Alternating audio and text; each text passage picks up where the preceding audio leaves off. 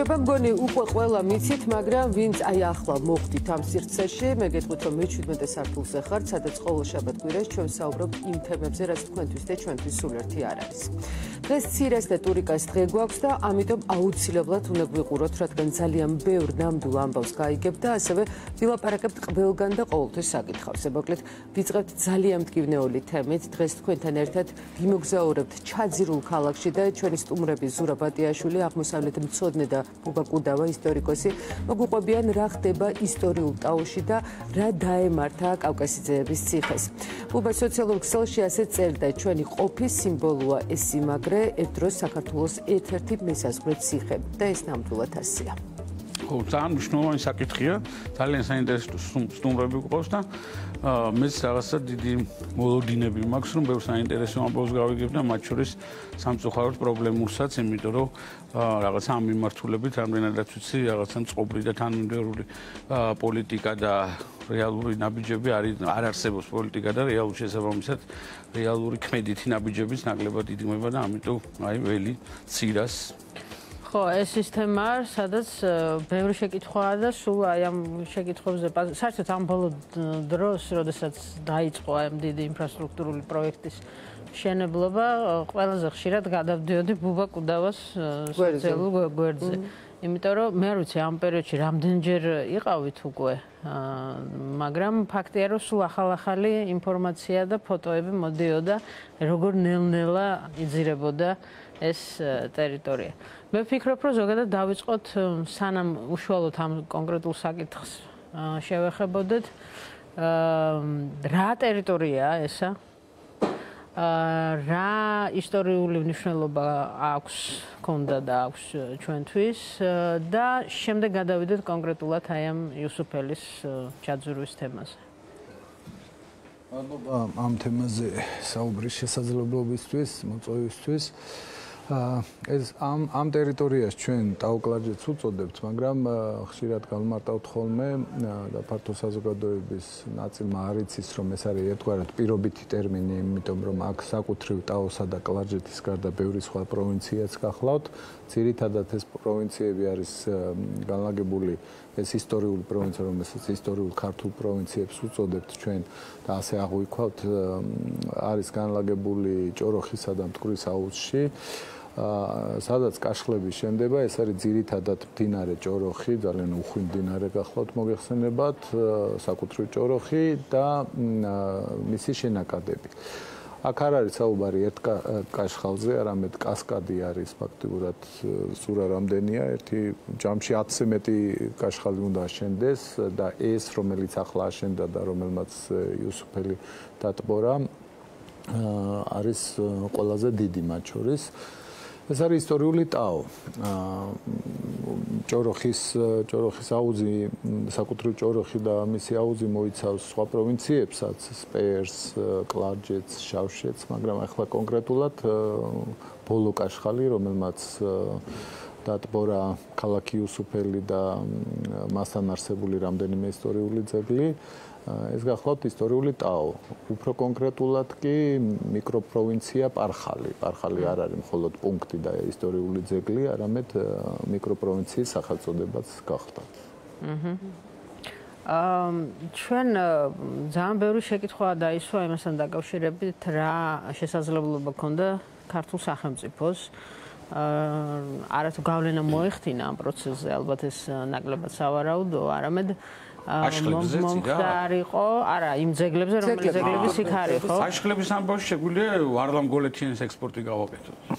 ხო, ხო და ამ შემთხვევაში მართლა იყო თუ არა რაიმე შესაძლებლობა და თუ გაუშვით ხელიდან ეს შესაძლებლობა? შესაძლებლობა სხვადასხვა პერიოდში იყო ხოლმე დაახლოებით 10 წლის წინ ძალიან ინტენსიურად იყო მოლაპარაკებების პროცესიც და რეალურად შეთანხმება შედგა იმის თაობაზე, რომ საქართველოს ტერიტორიაზე ოსმალური ძეგლები, თურქეთის ტერიტორიაზე ქართული ძეგლების რესტავრაცია მომხდარიყო. თითქოს ყველაფერი კარგად მიდიოდა მოლაპარაკებების პროცესი და შეთანხმება შედგა, მაგრამ შემდგომში რატომღაც ეს იქცა საქართველოსში პოლიტიზირებულ თემად, შიდა განხილვების თემად არჩევნები ახლოვდებოდა და მოყოლას გვახსოვთ. ეს არის, როდესაც აი ბათუმში მეჩეთს არ აგაშენებინებთ, ქართლობას გვართმევენ და ასე შემდეგ. 11-12 წლები. აა, დიახ, ეს პერიოდია რეალურად ეს უნდა ყოფილიყო იმ ძველი მეჩეთის რეპლიკა, რომელიც ქართული მხარე სადაც მოისურვებდა ბათუმის გარეუბანში სადმე იქ დაიდგმებოდა და მუზეუმის ფუნქცია იქნებოდა, მაგრამ რატომაც ეს იქცა ესეთი პოლიტიკ პოლიტიზირებულ თემად, რომელსაც მიტინგები, გამოსვლები ასე შემდეგ მოყვა მე არჩევნები ახლოვდებოდა, მოკლედ ვერ შედგა სამწუხაროდ ეს შეთანხმება და ბევრი რამ ჰაერში გამოიკიდა მიუხედავად ამისა, თურქულმა მხარემ მაგალითად რესტავრაცია გაუკეთა იშხანს და დაიწყო ოშკის რესტავრაციაც, მაგრამ შემდგომში ეს პროცესი, ანუ ცალმხრივი არაფერი არ არსებობს ბუნებაში და ნაცვლგების პრინციპს თურქეთი მისდევს.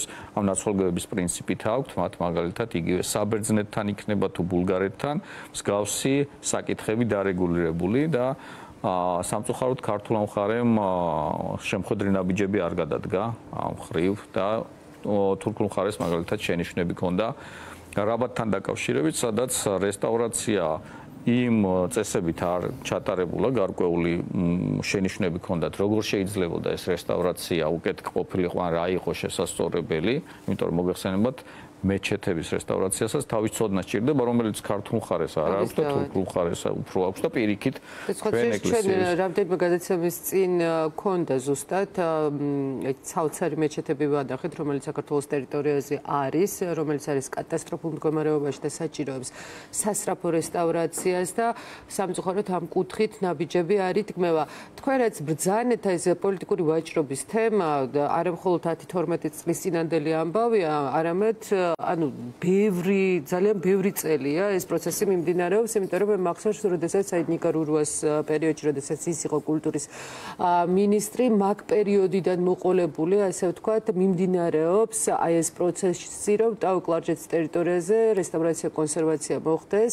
მე სამწუხაროდ აი ეს დეტალები არ მახსოვს, მაგრამ მახსოვს, რომ კონკრეტული ნაბიჯები იყო გადადგმული ამ მიმართულებით, თუმცა იქაც თუ არ ვწდები, იყო აი მეჩეთთან დაკავშირებული პრობლემები, ხო, რომ ისე ბათუმში უნდა აშენებულიყო მეჩეთი და ჩვენ ესე ვთქვათ, აი ერთი მეჩეთი სანაცვლოდ შეგვეძლო აი ამ ხელა არა ეს როგორც მეჩეთი ესეც არ უნდა ყოფილიყო, ეს იქნებოდა რეპლიკა იმ ძველი მეჩეთისა, რომელიც მაინც და მაინც არ ითხოვდა თურქული მხარე რომ მეჩეთად ეფუნქციონირა. რომ მოეთხოვა მუზეუმად უნდოდა და რომ მოეთხოვა ეგეც რომ რომ მოეთხოვა ეგეც არ იყო პრობლემა, ანუ მე ვამბობ სპეკულაცია რაზე მიდიოდა, პოლიტიკური სპეკულაცია საკუთარ. ხო, ეს მოხდა თქვენ რასაც ბრძანებთ ახლა 10-12 წლის წინ და მე უბრალოდ ვთქვი რომ პროცესი ძალიან დიდი ხანია მიმდინარეობს და ის უმეტად ეს მდგომარეობა ყვა. ანუ ეს ხეობა მთლიანად უნდა დაიტბოროს ახლა რაც დაიტბორა უკვე. დაიტბორა. ეს ძველი გადაღებულია. ეს ძველი კადრებია, დიახ.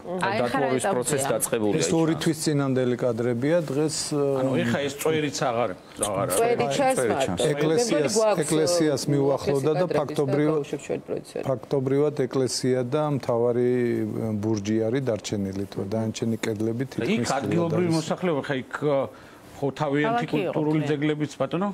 მთელი ქალაქი იყო რომ ხო მაგრამ ისინი ახალი კადრები დღევანდელი მდგომარეობა ჩანს მარტო წვერი. ხო რა ხელა ტერიტორია და ბუბა მაყურებელს მაინც რომ მოუყვეთ დაუკლარჯეთის ისტორიულ მნიშვნელობაზე მე მგონი ყველამ ძალიან კარგად იცის მაგრამ კიდევ ერთხელ რო შევახსენოთ რამდენად მნიშვნელოვანი იყო ეს კულტურული მემკვიდრეობის ძეგლები რომელიც და თუნდაც ეს ციხე რომელიც აღმოჩნდა დღეს წყლის ქვეშ და რამდენად მნიშვნელოვანია დანარჩენი ტერიტორია ხდებოდა რომ ასე ვთქვათ იყო შენარჩუნებული, რესტავრირებული და ასე შემდეგ. აი რამდენად ღირებულია ეს?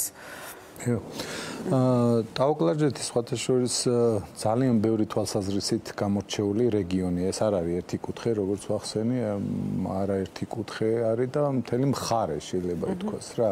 საქართველოს ისტორიულ გეოგრაფიულად სამ ძირითად მხარედ იყოფოდა, ეს არის აღმოსავლეთი, დასავლეთი და სამხრეთი, ხო?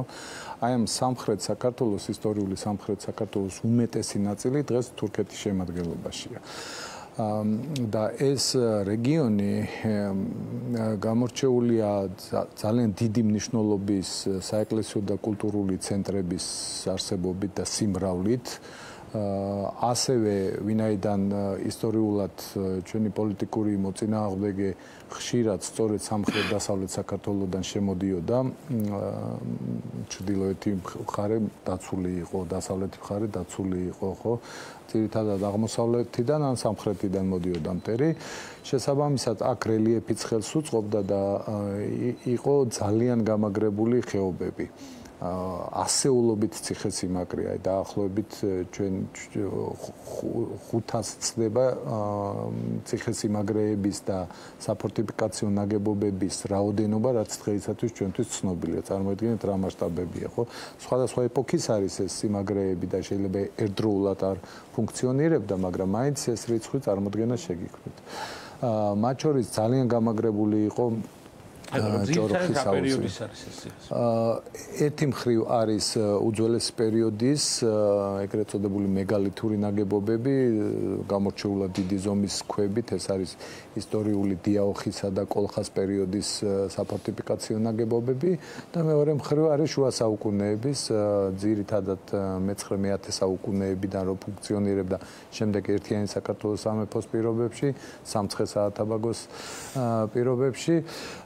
და მოკლედ აი ეს უზარმაზარი კულტურული ისტორიული მემკვიდრეობა დღეს ფაქტობრივად არის უპატრონო შეიძლება ითქვას იმიტომ რომ ეს არის ორივე თანაბრად ვიტყოდი რა ორივე სახელმწიფოს პასუხისგებლობა. თუნდაც პასუხისგებლობა ის რომ ვერ მოხერხდა ასეთ მე ვიტყოდი მარტივ საკითხზე, კი, თავისი რთულეები ყველა საკითხს აქვს, მაგრამ იმ თემებთან შედარებით და იმ გამოწვევებთან შედარებით, რაც ზოგადად არის ხოლმე სახელმწიფოებს შორის ურთიერთობაში, ხო, პოლიტიკური, სამხედრო, უსაფრთხოება, ეკონომიკა და ასე შემდეგ, იმათან შედარებით ვფიქრობ მარტივად მისაღწევი საკითხია და ორივე ქვეყნის პასუხისმგებლობაა, რომ ეს შეთანხმება თურქეთი ამ აქ ყველაზე გზა ერთიანი საქართველოს დროს აშენებულზე და იმაზე არ მაქვს ლაპარაკი, მაგრამ აი უფრო ძველი ძეგლები რაც არის, ხო? აი ეს მე თუნდაც ეს მეგალითური ნაგებობები.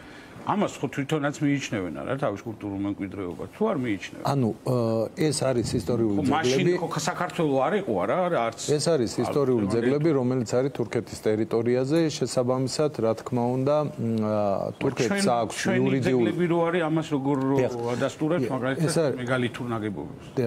თურქეთს აქვს იურიდიულიც და მორალური უფლებაც თქვათ რომ თვითონ საკუთრივ ყოველგვარი ვინმეს ვინმესთან თანამშრომლობის გარეშე თვითონ მიხედოს თავის კულტურული მემკვიდრეობის ძეგლებს. თუმცა გამომდინარე ჩვენი კეთილმეზობლური ურთიერთობებიდან და გამომდინარე გარკვეული ისტორიული ფაქტორებიდან, ხო, რა თქმა უნდა, ყოველთვის ძეგლის ინტერესებისთვის და ორ ქვეყანას შორის კეთილმეზობლური ურთიერთობის ინტერესებისთვის, რა თქმა უნდა, ჯობია ითანამშრომლოს შესაბამის ქვეყანასთან, ვისი კულტურა რომლის ხალხმაც შექმნა და უშუალოდ ეს ეს კულტურა და არა მარტო კულტურის ნაწილია, ჩვენთვის იდენტობის ნაწილია. ახლა როგორ წარმოგიდგენიათ ქართველი ხანძთის, ოშკის, ოპიზის, რა ვიცი, იშხნის და ბევრი ასეთი ისტორიული ძეგლი. ეს ხო არ მარტო არქიტექტურა არ არის, არამედ ეს იყო აქ დუღდა ცხოვრება და კულტურა. ეს იყო კულტურული ცენტრები, სამეცნიერო ცენტრები, სულიერების ცენტრები. ასე რომ ჩვენ ჩვენი იდენტობის ნაწილია და ამ ძეგლის ინტერესებისთვის და ორივე ქვეყნის კეთილმეზობლური ურთიერთობის ინტერესებისთვის რა თქმა უნდა ჯობია თანამშრომლობა. ხო, თუმცა უბრალოდ შეიძლება დავაზუსტოთ ესეც რომ თუმცა თქვენ ვეთქვით რომ თურქეთს აქვს ასეთი ტიპის თანამშრომლობის გამოცდილება სხვა ქვეყნებთან, ხო? ეხლა ეს უარ კარგად თანამშრომლობა, მაგალითად საბერძნეთთან, ხო?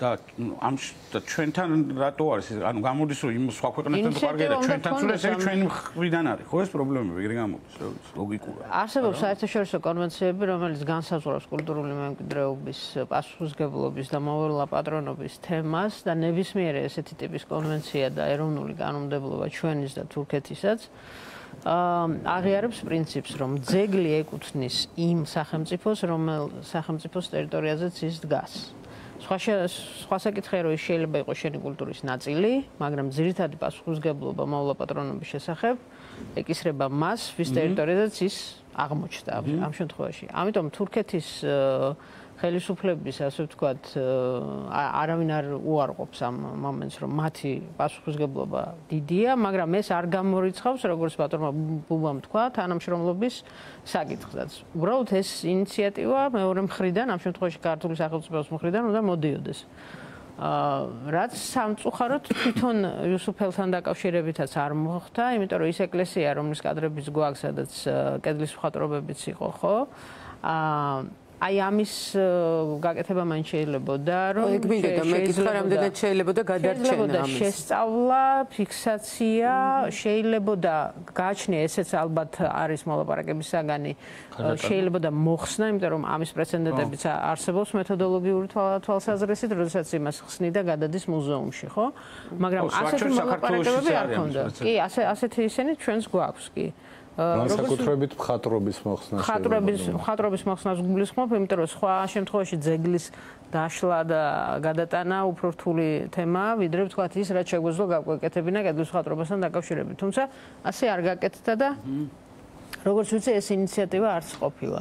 მე მე არ გამიგია ამის შესახებ, სამწუხარო არის ის, რომ ეს შეიძლებოდა ამის გადარჩენა, მაგრამ ამ შემთხვევაში უნდა ეაქტიურა საქართველოს კულტურის სამინისტროს და საქართველოს რომელიც სხვა თემებით არის დაგავ წარმოადგენს ოფიციალურ ხელისუფლებას საქართველოს საქართველოს წარმოადგენს მისი ოფიციალურ ხელისუფლებას. ბოდიში, აი მინიმუმ კულტურის სამინისტროში შეტყობინება ხო იქნებოდა, რომ ჩვენ ვაპირებთ ამას, ესე ვთქვათ, ანუ კაშხლის აშენებას თუ ასე შემდეგ, ეს ყველაფერი ჩაიზირება.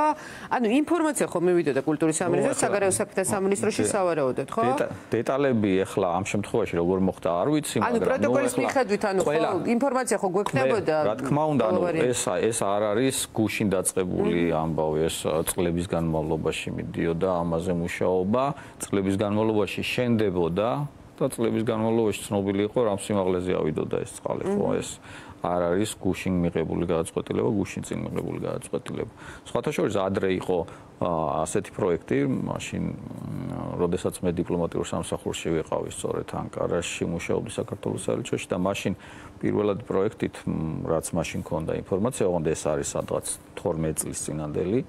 რომელიც ალბათ შეიცვალა მე ეს კონძულად უნდა დარჩენილიყო ეს ციხე რომელზეც ახლა საუბრობთ. რომ მე ეთქვა შეიცვალა ანუ დიდი ხნის ამბავი არის ცნობილი იყო დიდი ხნის არ არის ახალი ამბავი. ეს თურქეთის გადაწყვეტილებით, თურქეთის თავრობის გადაწყვეტილებით, ანუ კონსულად უნდა შეენარჩუნებოდა სავარაუდო ტურისტული მიზნით, ანუ ხო, არა, ეს არ იყო სპეციალური იქნებოდა, იმიტომ რომ მართლა საოცარი სანახავი იქნებოდა. ხო, ეს არ იყო სპეციალურად გაკეთებული, ასე ვთქვათ, მაგრამ ეს იყო იმ პროექტიდან გამომდინარე, ასე უწევდა ამ ციხეს. ხო. დარჩენა რაღაცა კონსულის სახით. ამ ეკლესიაზე უფრო დეტალურად რომ ვისაუბროთ, რა პერიოდის არის და რა მნიშვნელობა ქონდა?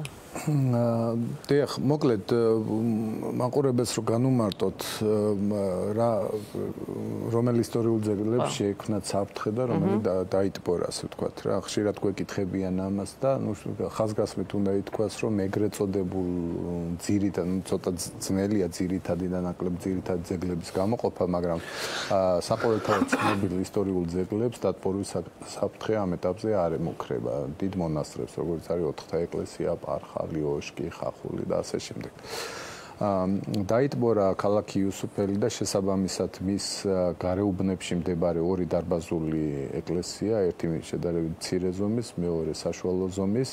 აი აქაც გადიოდა კადრები ერთ-ერთი მაგალითად გადის კანალად სადაც ფრესკები ჩანს. ჩალის ეკლესია, დიახ, მოხატული იყო და მოხატულობის ნაშთები იყო შემორჩენილი და სხვათა შორის მოასწარით ჩვენმა ჯგუფმა და ნავით გადავედით და გავაკეთეთ მაქსიმალურად ფიქსაცია, მათ შორის ხელოვნებაცოდნეც იყო გადასული და მანაც დააფიქსირა მაქსიმალურად ფრესკები და გარკვეული პროგრამის აღდგენის შესაძლებლობას იძლეოდა.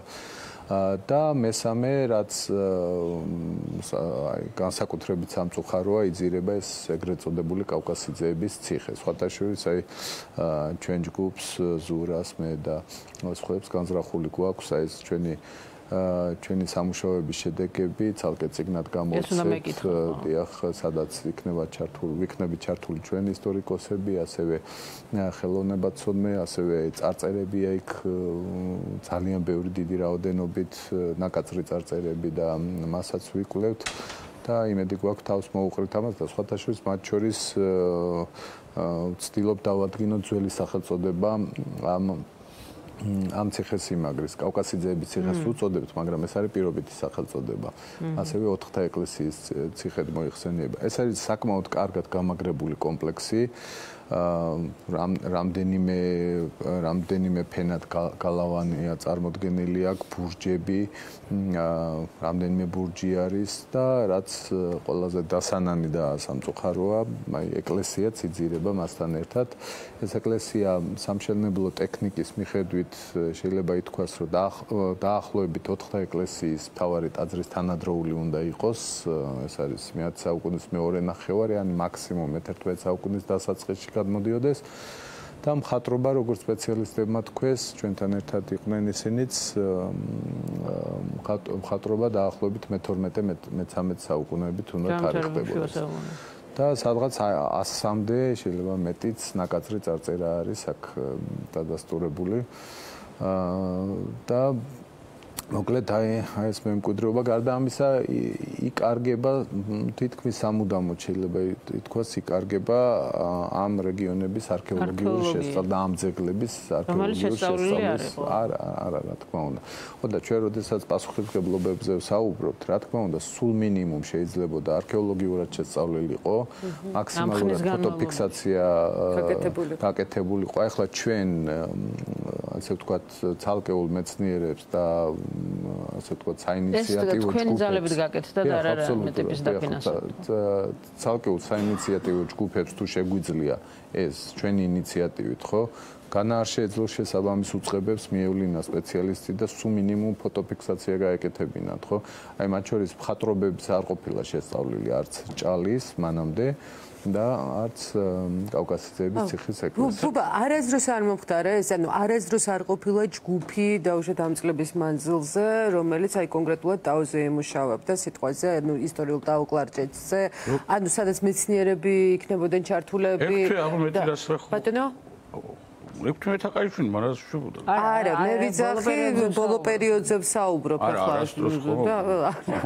არა კერძო ჯგუფები ახლა. ანუ რომელიც აი ხო ანუ მიკვირს იმიტომ რომ ანუ ძალიან ხანგრძლივ პერიოდზეა საუბარი ხო? ეს პერიოდი მშენებლობის პერიოდი მაქსიმალურად უნდა გამოგვეყენებინა არა მარტო მშენებლობის პერიოდი ანუ ზოგადად ვიძახ სანამ მშენებლობა დაიწყებოდა მანამდეც ვკითხულობ ანუ არასდროს არ ყოფილა ანუ ჯგუფი რომელიც კონკრეტულად შეიძლება არა ადამიანები რომლებიც თავისთავად ინიციატივას გამოხატავენ და თვითონ ჩადიან და ფიქსაციასაც აკეთებდა და ასე შემდეგ სახელმწიფოს პოლიტიკას გულისხმობ ამ შემთხვევაში. შეიძლება კულტურის სამინისტროს ყოლო და რაღაცა ჯგუფი რომელიც მუშაობდა კონკრეტულად ამ თემაზე და ასე შემდეგ. ანუ არ ყოფილა არც ერთი ხელისუფლების პერიოდში? იყო სხვა სხვა პროექტები მათ შორის ჩვენს ქონდა ადრე პროექტი სხვათა შორის იმ პროექტის შედეგია ეს ციგნი ისტორიისა და კულტურის ცეკვთა კატალოგი დაუკლარჯეთისა სხვა ჩვენი კოლეგები სხვა ჯგუფებიც ადიოდნენ სწავლობდნენ ამ რეგიონებს მაგრამ ერთი მხრივ რეგიონი არის ძალიან დიდი და მეორე მხრივ ამ კონკრეტულ შემთხვევაში იყო ერთი პრობლემა, რომ კავკასიძეების ციხე იყო მიუდგომელი. 2005 წელს რაღაც ალპინისტური საშუალებებით კი მომეცა საშუალება და ავედი, მაგრამ ის მცირე დრო არ იყო საკმარისი შესასწავლად. და იმისათვის, რომ თითეულ ძეგზე, აი ჩვენი ჯგუფები ძირითადად ვარ დაკავებული, ასე ვთქვათ, მაქსიმალურად ზოგადი ინფორმაციის თავმოყრისათვის იმისათვის რომ თითოეულ ძეგლზე ჩატარდეს ფუნდამენტური კვლევა მით უფრო არქეოლოგიური სამუშაოები მით უფრო დეტალური ფოტოფიქსაცია ну აღარაფერს ვამბობ ჩამოხსნა და ასე შემდეგ.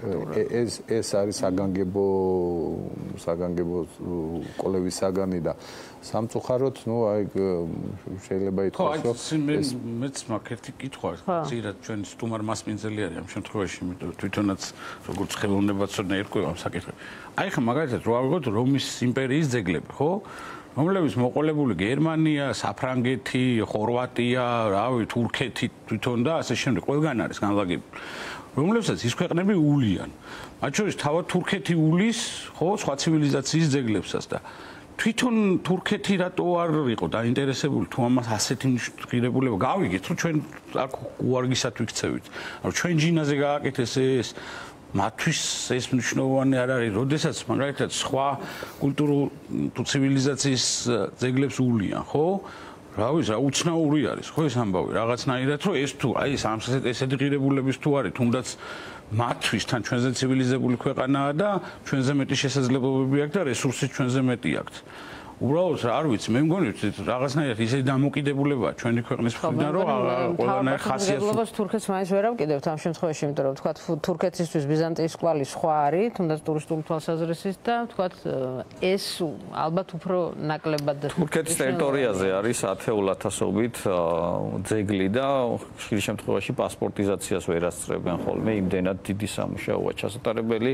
ეს არის როგორც ბიზანტიული, ისე რომაული პერიოდის ძეგლები, ისე ოსმალური ძეგლები, ანუ აი მაგალითად აქაც ხო ამ კაშხლების შენებლობის დროს არაერთი მეჩეთი ხო მაგას ვამბობ იქაური კულტურული ძეგლების ხო მათიც ხო დაიტბო კი კი ანუ ეხლა ეს რო ყოფილიყო დიდი ზომის ძეგლი ალბათ გადაიტანდნენ თქვათ ეხლა 4000 პარხალს და ამ დიდ ძეგლებს საფრთხე არ შექმნიათ მაგრამ აქ უნდა გავითვალისწინოთ ისიც რომ ქართული მხრიდან არ ყოფილა არაფერი ინიციატივა ამ მხრიდან და მეორეც ძალიან ბევრი ძეგლი არის თურქეთის ტერიტორიაზე რომელიც კიდევ ერთხელ ვამბობ ნაკლებად შესწავლია დრო სჭირდება ამის შესწავლა სპეციალისტები სჭირდება ანუ მარტო სურვილი არ ყოფნის სპეციალისტები სჭირდება ხო?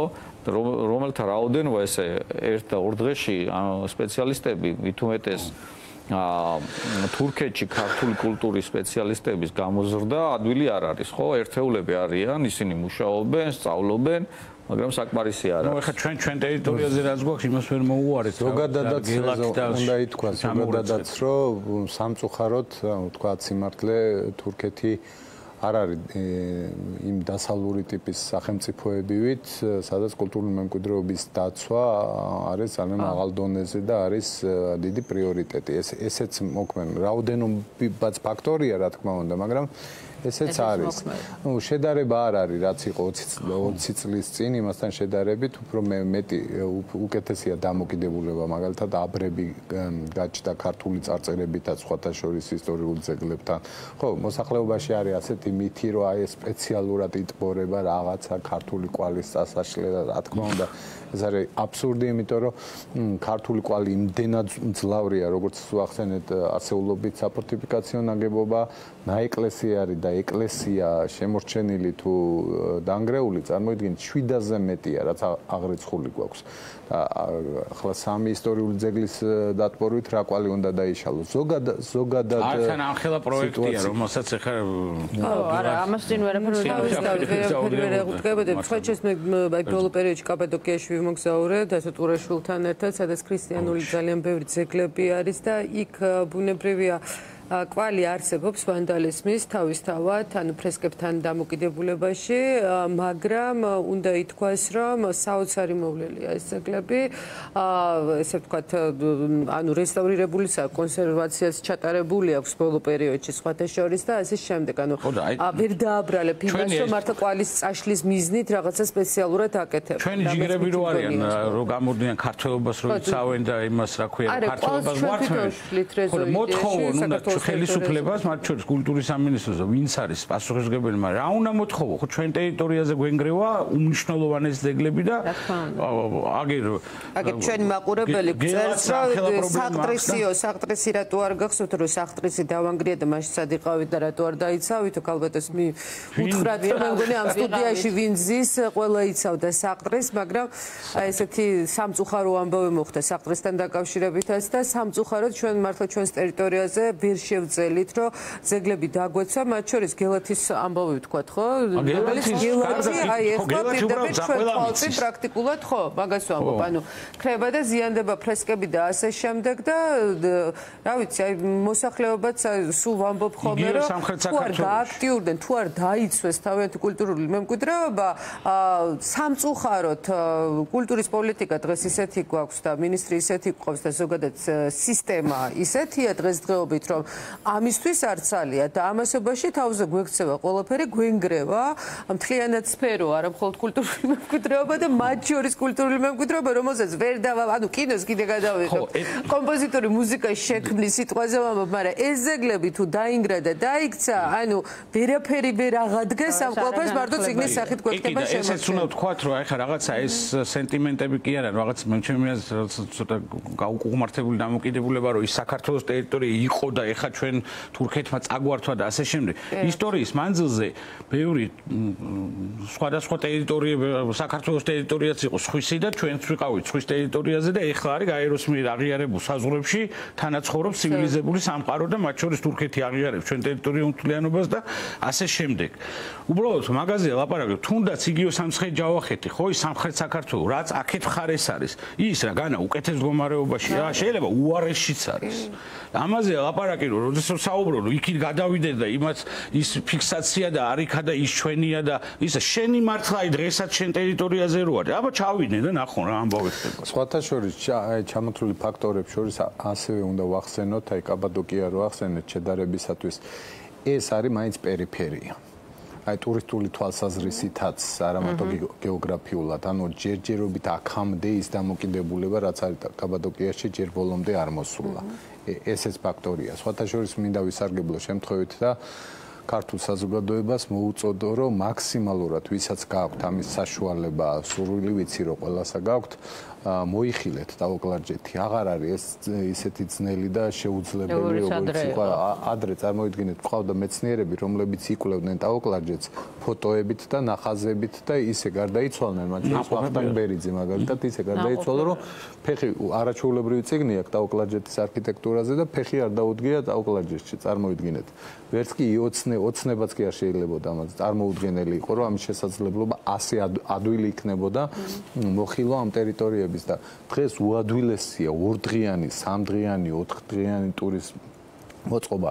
ბევრი რაც უფრო ბევრი ჩავა, მით უფრო კარგად წარმოვიდგენთ ამ მემკვიდრეობის მნიშვნელობას და მათ შორის თურქებიც უკეთ დაინახავენ. ჩვენ თვალწინ იცვლება, აი ბოლო 20 20 წელია დავდივართ ეკა და 20 წლის განმავლობაში ჩვენ თვალწინ იცვლება დამოკიდებულება. მაშინ როდესაც უკეთესობის თავიდან თავიდან იყო გაუცხოება, თავიდან იყო გაკვირვება, რომ ვინ არის, რა არის, რატო ჩამოდის და ერთი ჯგუფი რო ჩამვიდა მეორე მეათე მეასე უკვე დაინახეს რომ ეს მნიშვნელოვანია მნიშვნელოვანი რო არ იყოს ხო არ ჩამოვიდოდნენ საგანგებო მათ ინტერესიც არის ახლა ტურისტული ინფრასტრუქტურა გაჩნდა ინფრასტრუქტურა დიახ კაფეები მაღაზიები სასტუმროები ეკონომიკური ინტერესი დაინახეს მოქალაქეებმა და ცხადია ცხადია მე თვითონ თვითონვე აღუდგებიან წინ დაზიანების ფაქტებს ხომ? იმიტომ რომ მათ ინტერესებში არ შედის დაზიანება და ასე რომ მაქსიმალურად ვეცვიოთ. ანუ ჩვენ შეგვიძლია ესე იგი მარტო ხელისუფლებას რო არ მოვთხოვოთ, ის ჩვენ შეგვიძლია რომ ჩვენ ინტერესი გამოვიჩინოთ. ჩვენი წილი შევიტანოთ ამ პროცესში. სხვათა შორის აი ჩვენ ჩვენ უკეთრად ჩვენ რამდენჯერმე ავედით ამ კავკასიების ციხეზე ჯერ ალპინისტური ასე ვთქვათ საშუალებებით ბიძინა გუჯაბიძე ჩვენი მეგობარი ალპინისტი ცნობილი დაგვეხმარა და ავედით იმიტომ რომ დაგუბების შემდეგ არ ვიცოდით რამდენად გაჩნდებოდა კიდევ შესაძლებლობა შეიძლება არ გადავეშვით ნავით ხომ ელემენტარულად რა ხან კაშხალია სტრატეგიული ობიექტია. შემდეგ უკვე ნავით გადასვლის საშუალება რო იყო ნავით გადავედით და ნუ რამდენჯერმე ვესტუმრეთ და ვისაც აქვს საშუალება და დრო ჯერ კიდევ შესაძლებელია იქ ნავით მოხვედრა სანამ თლიანად დაიტბორება. ანუ ეს ბოლომდე არის დაგეგმილი რომ ბოლომდე უნდა დაიტბოროს?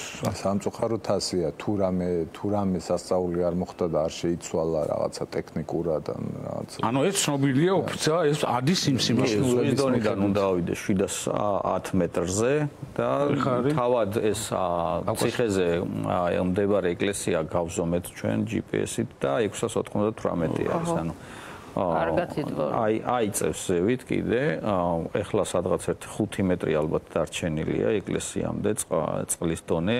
ანუ ეხლა რასაც ხედავთ, ამასთან შედარებით ეს ნაწილი ქვედა ნაწილი უკვე წყლის ქვეშ არის მოხვედრილი. სხვათა შორის კარგად არის შემორჩენილი შედარებით სხვა ძეგლებთან შედარებით, მხატვრობაც ეს ნაკაცრი წარწერებიც, იმიტომ რომ მიუდგომელი იყო, ვერ მიდიოდა ადამიანი და ადამიანის მოქმედების შედეგად ხდება ხოლმე ხო დროთა განმავლობაში რაღაცის დაზიანება. აა როგორც ჩანს ეს ციხესიმაგრე მას შემდეგ რაც ოსმალებმა აიღეს აღარ გამოიყენებოდა, თორე გამოყენების შემთხვევაშიც დაზიანება ალბათ ადამიანური ფაქტორიდან გამომდინარე იქნებოდა.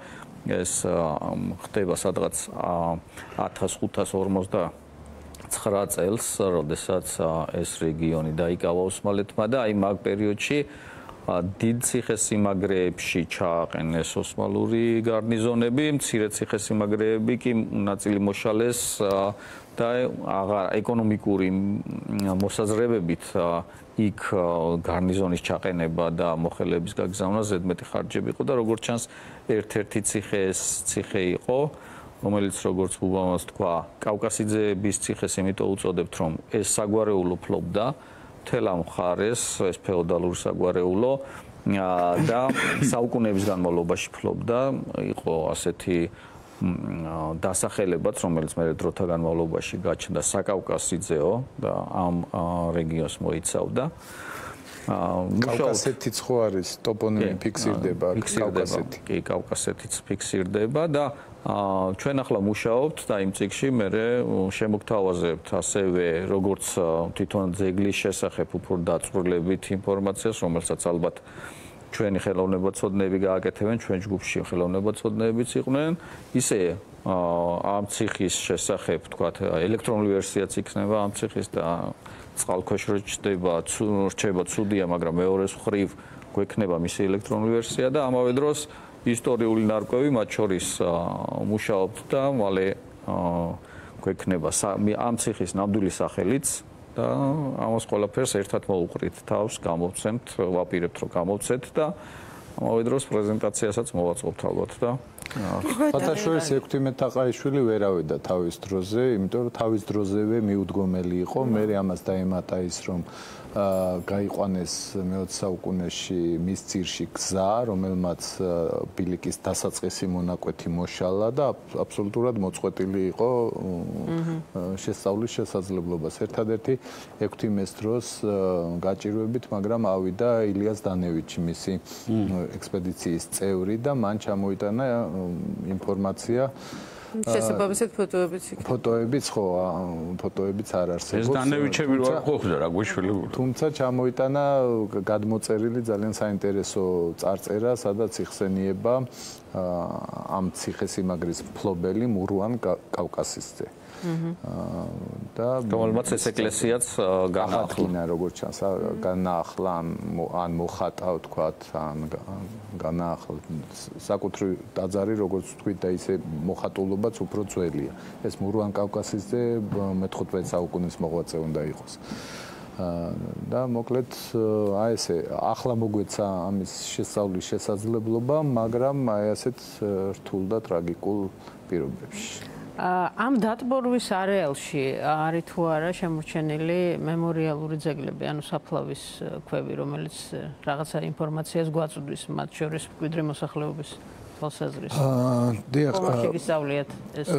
საფლავის ქვები საერთოდ ამ ამ ტერიტორიაზე ზოგადად ძველი საფლავის ქვები ჩვენთანაც საქართველოსშიც ცოტაა, ხო და ძველი საფლავის ქვები ძირითადად არის ბოლო საუკუნეების, იმიტომ რომ ადვილად ნადგურდება მეორადი გამოყენებით ხშირად არის ხოლმე ჩართული ამ თუ ნაგებობაში და ზოგადად რთულად შემორჩება ხოლმე და ამ ტერიტორიაზე მე არ არ მახსენდება ძალიან იშვიათად აი შეიძლება სტელები არის ხოლმე ხო წარწერიანი სტელები მაგრამ აი მასიურად საფლავის ქვები არ არის შემორჩენილი, რა თქმა უნდა, იქნებოდა და ძირითადად ეკლესიების ტერიტორიაზე და გარშემო.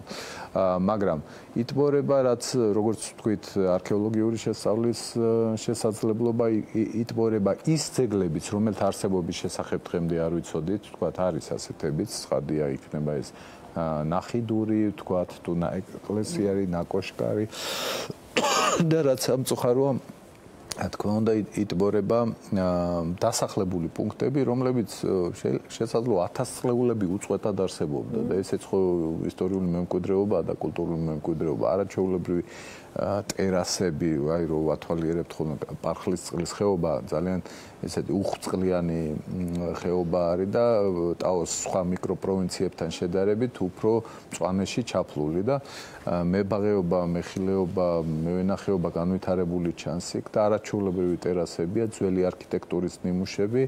ესენი იტბორება, რა თქმა უნდა, ისე ტრაგიკული იყო, რომ უყურებდით, როგორ შლიდნენ თავისი ხელით საკუთარ სახლებს, мама-папისეულ ძველ სახლებს, როგორ შლიდნენ, ძველ ძელებს აცლიდნენ და მაქსიმალურად მოქონდათ რის წამოღება შეიძლება დიდი დიდ ხეებსაც კი ფესვებიანად იღებდნენ, რომ იქნებ სხვაგან გაეხარებინათ.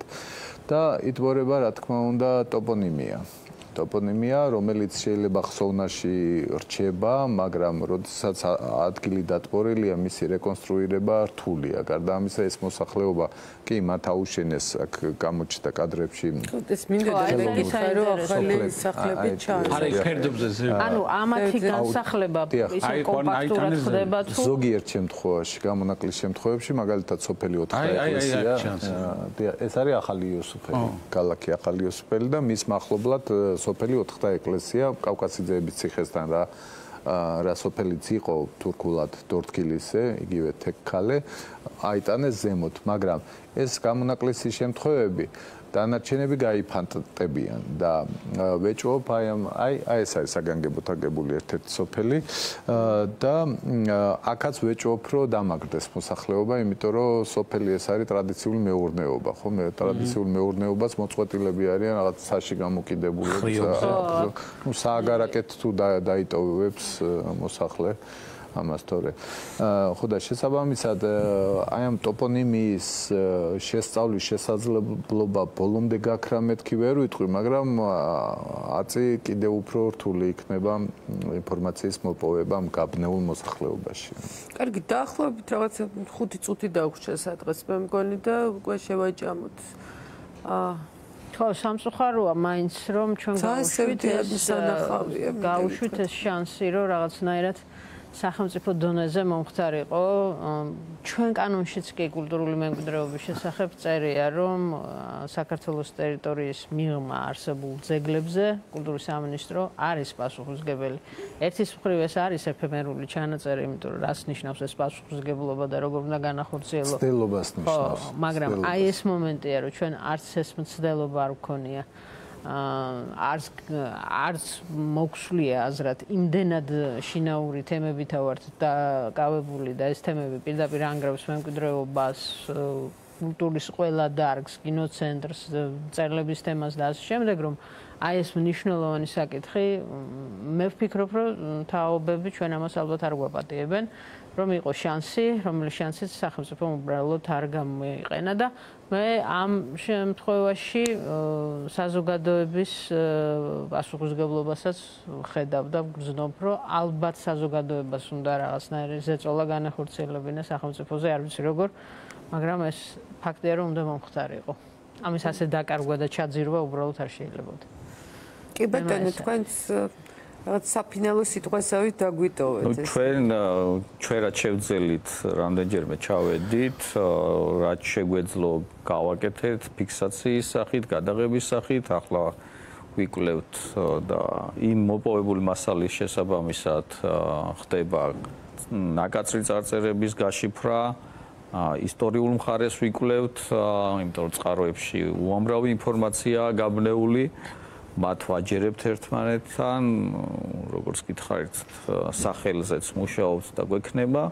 ანუ რა რეალურად რაც დავისახეთ ჯგუფმა მიზანი, შეიძლება ითქვას, რომ ამ შემთხვევაში შესრულდა და ფიქრობთ, რომ უახლოეს ხანში შევთავაზოთ ქართულ საზოგადოებას შედეგები ჩვენი ჩასვლის მხოლოდ ფიქსაციით არ შემოვიფარგლეთ და ამას რეალური კონკრეტული აა ექნება შედეგი. იმ ხრივ რომ თქვათ იგივე მაგალითად თავის დროზე ალბათ ეს იქნებოდა ვანდალიზმი, როდესაც ვიღაცა ნაკაც წარწერას აკეთებდა მე-15 ან მე-14 საუკუნეში, მაგრამ ახლა უკვე ისტორიათ იქცა და ცალკე ციგნი მიეძღვნება. ო, მაგრამ ისა რა ქვია, არ წავახალისოთ ის ხალხი, აკეთებს რომ სპარტაშოვის ჩვენი ექსპედიციის დროს ჩვენ შევძელით სპეციალისტების, ძალიან კარგი სპეციალისტების და კარგი ადამიანების და ენთუზიასტების მხარდაჭერით და დახმარებით შევძელით და 3D ფორმატში მოახდინეთ ამ ძეგლის სკანირება. და ფაქტობრივად შეიძლება ითქვას, რომ ციფრული ასლი ამ ამ ძეგლისა ჩვენ გვექნება მის ცალკეული ნაწილებისაც და სრულად კომპლექსის. ხოჭერ ძალიან მნიშვნელოვანია რომ ყველას ძეგლი რაღაცნაირად იყოს 3D ვერსიაში, ხო 3D ხო ისა 3D ფორმატში, რომ იმისთვის რომ რაღაცა მომავალ თაობას თანამედროვე ხო შეუნახოთ აი ესეთი თანამედროვე ფორმით, ასე ვთქვათ, რომ რაღაცა ვიზუალიზაციის დანახვის საშუალება გქონდეთ მათ, ხო? და კიდევ ვისურვებდი უკაცრავად დავამატებ, რომ აი ჩვენ ქართულებს გულში მჭიღის ცემა გვიყვარს ხოლმე და ახლაც მძლავრად ვიცემთ ჯიხს და უწყვეტად უწყვეტად ეს ჩვენი ენთუზიაზმი, ჩვენი ასე ვთქვათ შინაგანი ასე ვთქვათ ენერგია მიუმართოთ საქმისკენ და ძალიან ბევრია იქ გასაკეთებელი და უშუალოდ ეს ვერ ვიხსენით სამწუხაროდ ხო? ყველას სხვადასხვა წილი პასუხისგებლობა აქვს მაგრამ მეორე მხრივ ძალიან ბევრია კვლავ გასაკეთებელი ძალიან ბევრი ისტორიული ძეგლი ნადგურდება ჩვენ თვალწინ შესასწავლია დასაფიქსირებელია განგაში ასატეხი როდესაც ზიანდება ხო? ასე რომ ნუ ნუ ნუ მივივიწყებთ. ნურც იმ მემკვიდრეობას რომელიც ჩვენ ტერიტორიაზეა და როგორც ირამ თქვა ნურც იმ მემკვიდრეობას რომელიც ჩვენი წინაპრების შექმნილია მაგრამ სხვა სახელმწიფოების ტერიტორიაზეა დღეს.